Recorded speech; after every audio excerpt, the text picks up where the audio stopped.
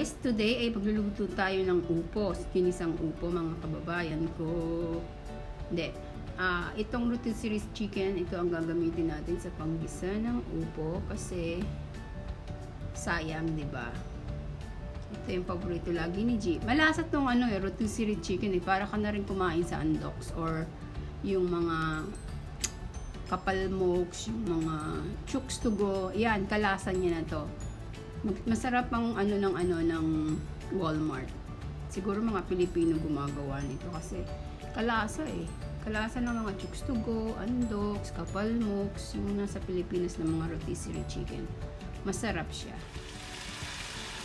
Ginigisa ko lang ang sibuyas, kamatis at bawang. Then sunod natin si chicken. Dahil ito naman si chicken, sandaling gisa lang yun. And then lagay natin si upo. Sunod na natin ang ating chicken.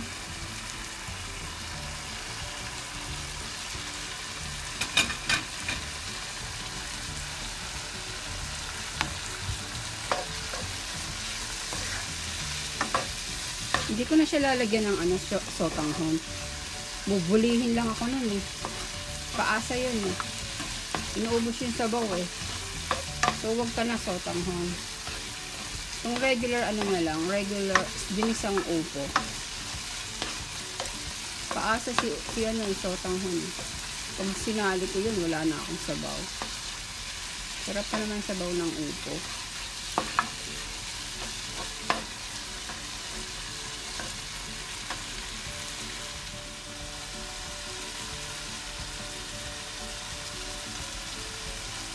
And then, ilagay na si upo.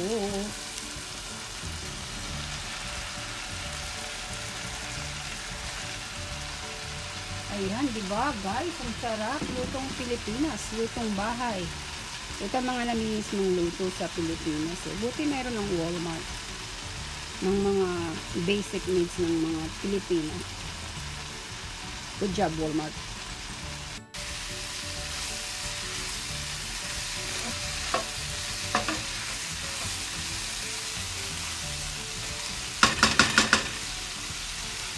Lagyan natin siya ng konting patis.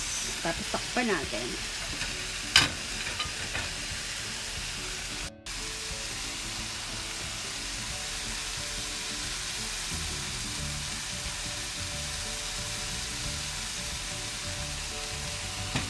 Takpan natin siya. So, ayan guys. Time lang natin siyang mag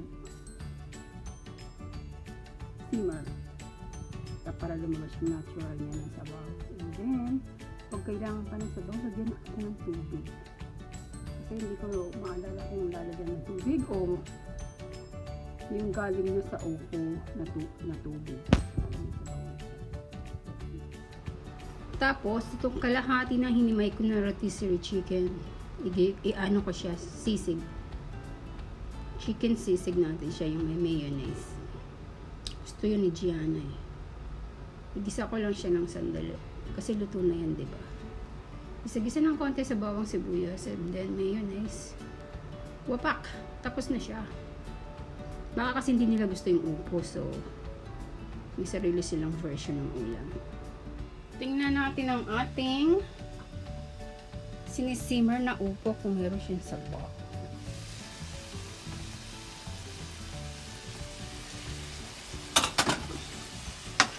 Ala! Wale.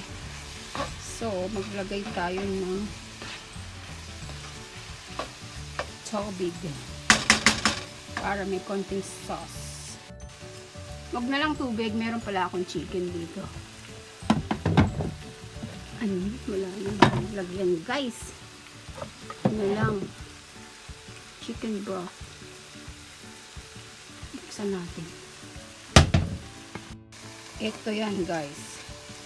Huwag na tubig. Ito na lang ng broth.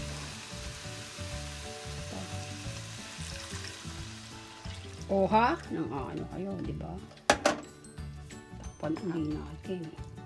Mga 5 minutes. Am-am na tayo.